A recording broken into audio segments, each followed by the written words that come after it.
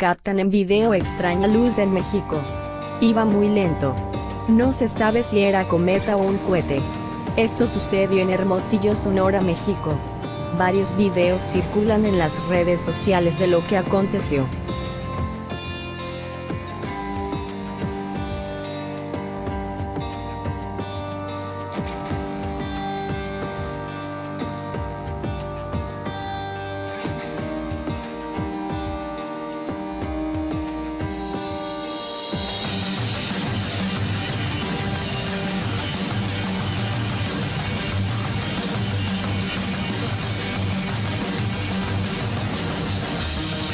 Gracias por vernos.